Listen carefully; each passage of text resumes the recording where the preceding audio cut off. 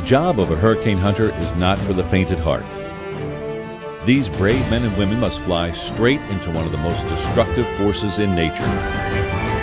Hurricanes are born over the open ocean, and while satellites can track their movement, meteorologists and researchers need to sample the storms directly to get the most accurate information about them. NOAA's Hurricane Hunter fleet includes two P-3 turboprop aircraft, as well as a Gulfstream 4 jet.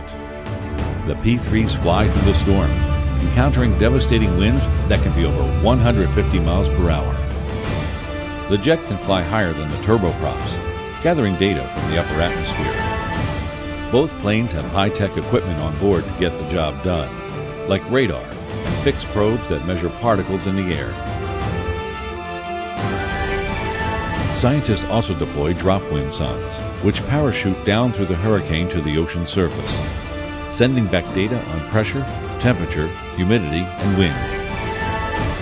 These measurements can help us understand the structure of a storm and the winds that are steering it. The data is used in computer models that help forecasters predict how intense the hurricane will be and where and when it will strike land.